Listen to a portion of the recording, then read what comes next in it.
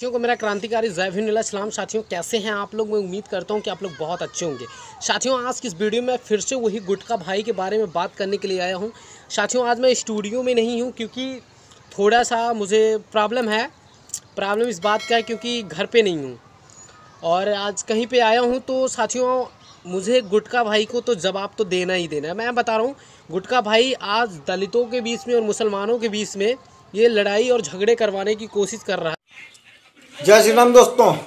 क्या चमारो, तुम्हें पता है कि तुम्हारे संत रविदास को चमड़े का कार्य किसने करवाया था? सिकंदर लोधी ने। तुम लोगों को चमड़े के कारखाने में ज़बरदस्ती काम करवाया था और अछूत की उपाधि भी सिकंदर लोधी ही तुमको दे गए। जहर घोलने का काम कर रहा है। ये कह रहा है, संत रविदास जी को जूता सीने के लिए किसने बोला था? किसने? पहली बात तो मेरी ये सुन ले तू, कि संत शिरोमणि रविदास जी जब जूता सिल रहे थे तो एक ब्राह्मण समाज का था, वो एक पंडित था।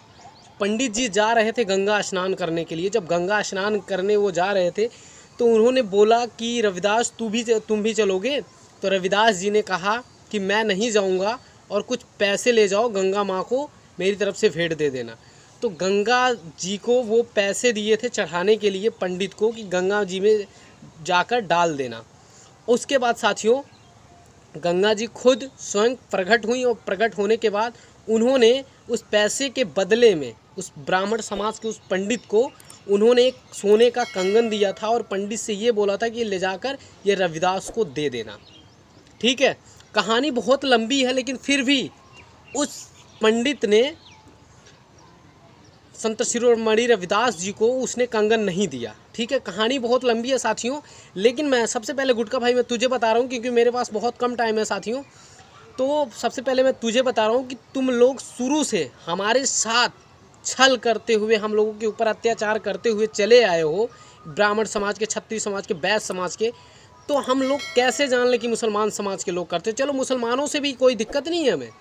अगर मुसलमान समाज के लोग अगर इस तरीके से करते हैं तो उनसे भी हम निपटेंगे, ऐसी बात नहीं है। लेकिन मुसलमान समाज के भाई हमारे तरह, हमारे लोगों के साथ इस तरीके से अन्याय कभी किए नहीं, और इस चीज़ को हम मानते नहीं। और तेरे, तेरी वजह से ये सोच कि तू अगर जहर उगलेगा और लोगों के बीचों में जहर घुलने, घोलने का काम करेगा तो ये तेरा कभी सेक्स ही नहीं होगा। और जो तू नीले अंडे अंडे आकर जो कहता रहता है ना, सबसे पहले ये जान लेना, तेरे घर की जो बहन होंगी ना, तेरी माँ होगी ना, वो लोग ज़्यादा करके ना नीले चीज़ को पसंद करती हैं। तो उनसे कह दें, नीले चीज़ को ना पसंद ना करें। ठीक है? इसीलिए हम लोग हर वक्त नीले पहनते हैं और तुम लोग नीले को पसंद करते हो। तो ये मैं आप लोगों से बात करने के लिए आया था, साथियों। प्लीज़ इस वीडियो को शेयर करें ताकि इस कमीरे को, इस कुत्ते को पता चले कि संत शिरोमणि रविदास कौन थे और जिन लोग, ये लोग क्या थे। तो ये मैं आप लोगों से बात करने के लिए था जय भीम।